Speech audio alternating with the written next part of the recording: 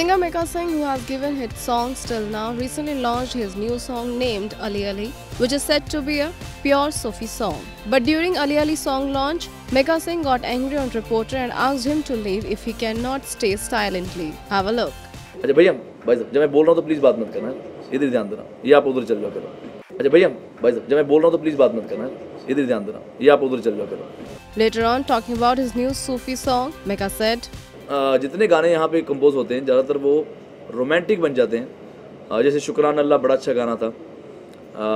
ये जितने भी गाने आते हैं, जिसके अंदर अल्लाह का नाम आता है तो ज़्यादातर वो थोड़ा सा रोमांस या रोमांटिक में रोमांटिक वे में चल जाता है। तो मैंने ये जो गाना बनाया, अली अली, ये सिर्फ़ और सिर्फ़ प्योर सूफी सॉन्ग है, जिसके अंदर आपको कोई भी ऐसा नहीं no girls no cars no style या एक रोमांटिक वे में नहीं बनाया, पूरा इबादत की तरह इसका वीडियो बनाया।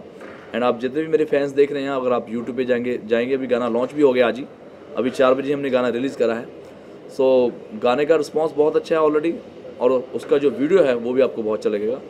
And thanks to Venky Bala भाई जो मेरे दोस्त हैं उन्होंने मुझे इनक्रेज करा कि यह गाने को आप और बड़े लेवल पे प्रमोट करो शूट करो और ये बहुत अच्छा सॉन्ग है और लोगों को अच्छा लगेगा। Meka Singh, who is an Indian singer, composer, and performer, sang many songs like Moja Hi Moja from Jab We Met, Batuta from Ishkia, Jumme Ki from Kick, Pia More from Badshaho, and many more.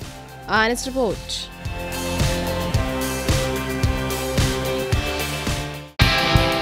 Subscribe to our channel. Just click on the bell icon for all the latest updates.